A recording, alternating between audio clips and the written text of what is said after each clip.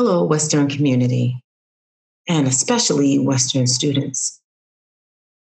I have been thinking about you and wondering how you have managed over the past few weeks. And quite frankly, it's been it's been really rough trying to muster up the, the words to to share with you how I am feeling in this time. It has indeed been a time when I am or have been feeling not okay.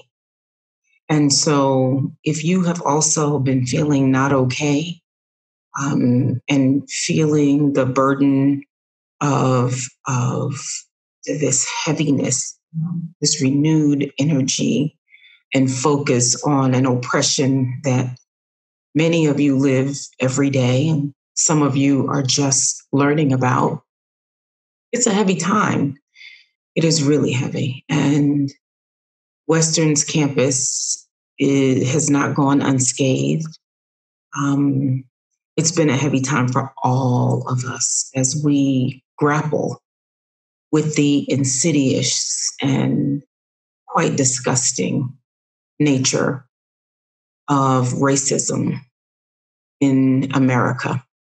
The world has cried out for this racism in America.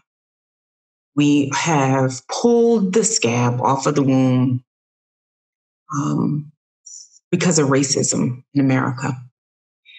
And for the colleagues of mine that have, um, you know, come forward and supported me and supported some of our students because I've seen emails from professors who have supported students who are going through just unthinkable stress right now um, around grades and exams and finals. Thank you.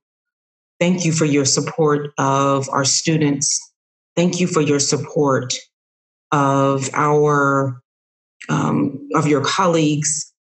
Uh, thank you for reaching out and recognizing that it is difficult to even explain. Like I cannot think of any words to explain to you how difficult the past uh, few weeks have been as it, it's uh, you know the burden that we carry for having this sun-kissed skin has been amplified um, by watching these senseless murders you know breonna taylor ahmaud arbery and then george floyd and back to back it's like an assault on your spirit that already has to grapple with daily assaults and daily microaggressions and daily feelings of oppression in places that you shouldn't feel oppressed. You shouldn't feel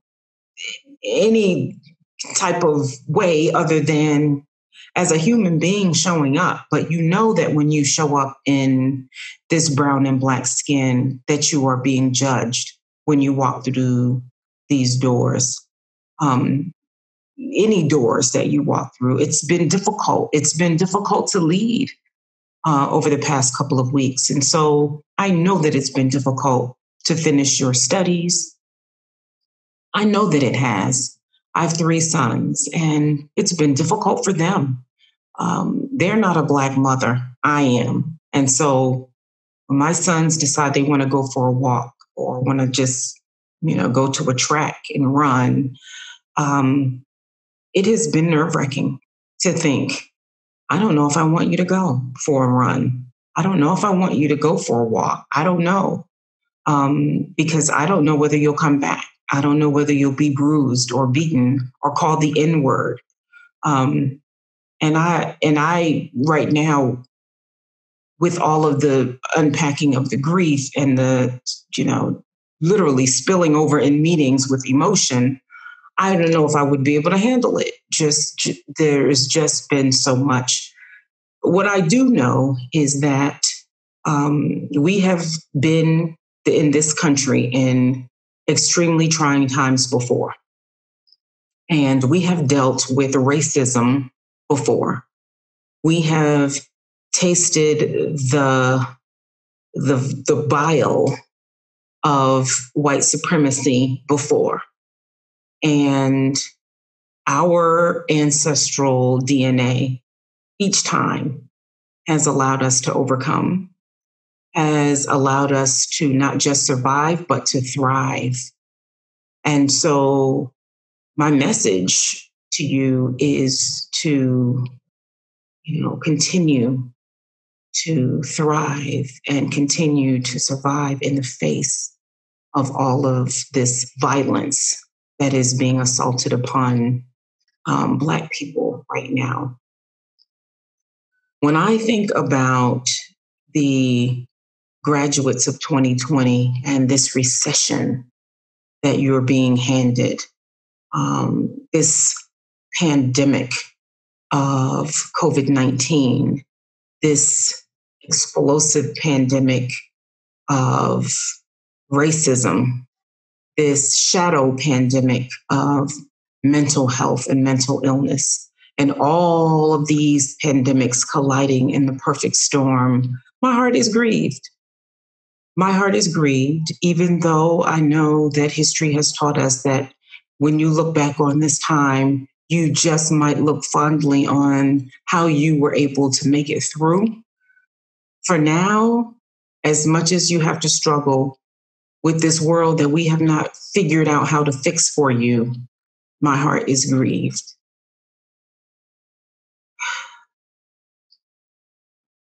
Over the past couple of weeks, I've had colleagues reach out and um, and ask questions about what can they do, how can they support. Um, I've had people email me, and I'm so grateful for the outpouring of love. Um, and I do have a, a couple of things to offer. It's by no means inclusive, but there are a couple of things to offer in the short time that I'm going to take. And one is to educate yourself. While there are colleagues of yours that can give you insights into their own personal experience, it can only touch the surface. I could spend the next two weeks doing a workshop with you on racism in America and just use my stories of trying to um, work and thrive and survive and pick my head up and be reminded of that I'm good enough. Um, I could spend the next couple of weeks just doing a workshop on that, and it still wouldn't tell um, a fraction of the story. And so, educate yourself. This is a time when books are your friend. There are several, there are just a multitude. I mean, Google is your friend of websites. Um, there are a couple of books. One um, I will give you, uh, White Fragility is is a great book, and then there is a book that was written by a sister who attended Western, and this book is called "So You Want to Talk About Race" by Ijeoma Who um, has a beautiful piece that is very poetic, but also sort of a guide on how to have those really tough conversations um, so I would say educate yourself. That's number one. Find ways to get some of the answers. Why, you know, this is so explosive. Why now? Why the why, you know, what what was it about this moment in history?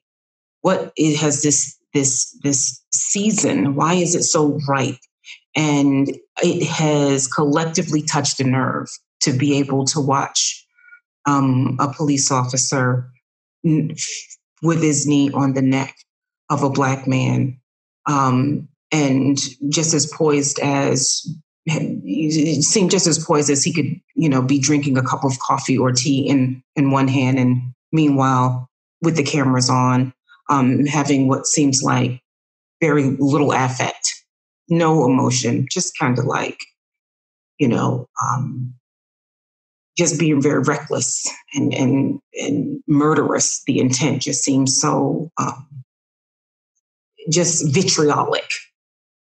So it struck a collective nerve. And so educate yourself on why this, this, you know, black people are, are just exhausted with this type of treatment, this type of careless and meaningful and this animalistic and vitriolic treatment. The second thing that you can do is we think a lot about call out. You know, this is the call out culture. People talk about call out, call out, don't call people out. This is, I'm going to use a different phrase, and that is call in. You can use the call out, call in. It all means the same thing, but call in people when people are um, trying to communicate with you and maybe uses use you know uses uh, the wrong phrase to communicate or um, doesn't quite get the phrasing right call them in educate them help them understand your heart and where you're coming from. Call in call your parents at home that are racist who I've had a colleague say, I don't want to call my father because he's in a racist part of the country. You know, newsflash, the whole country has racist parts. And so call them in, call in colleagues when there are opportunities to have those conversations that say, um, you know, I'm going to call you in right now or call you out because you have just said something that I think we need to illuminate. Give, please give her an opportunity to speak.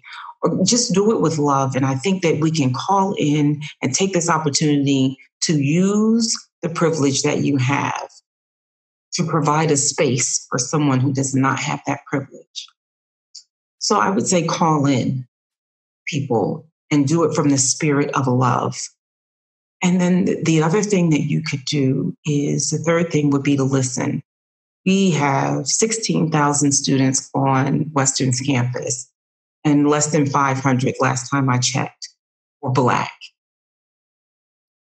That means that they are going to need people who can listen with empathy. You cannot understand. You will never be able to understand what it feels like to live in this skin. You will never understand what it feels like if you do not have Black skin. You can try and you can do everything humanly possible to empathize. And that is what I'm asking you to do for your colleagues, your Black colleagues, and for students, um, Black students. Do your best to empathize um, and listen. Give them an opportunity to share their story. Everybody has one, and they're all different. They're all deep. They're all meaningful. And to students, share your stories. Your stories are meaningful. Um, your stories count um, and it's important that you feel like you have the, the ability to do that um, in a place that wants to listen to your stories. And so I just thought I would um, stop by to, to share some love and to spread some light and to remind you also to breathe. Because I've noticed that a lot of people are not breathing in deeply right now um, take care of yourself. Um, because after all, um, you know, Maya Angelou has a quote that goes something like this um, It is important to be courageous enough to be able to have and show self compassion. And it is even equally as important to love yourself and be compassionate enough to take care of someone else and love someone else. And so do that as you move along and continue to, to live and speak your truths. I'm encouraging you to share your stories, um, lift your voice, be seen, um, be heard, um, and continue to uh, take care of yourself and take care of others. Thank you.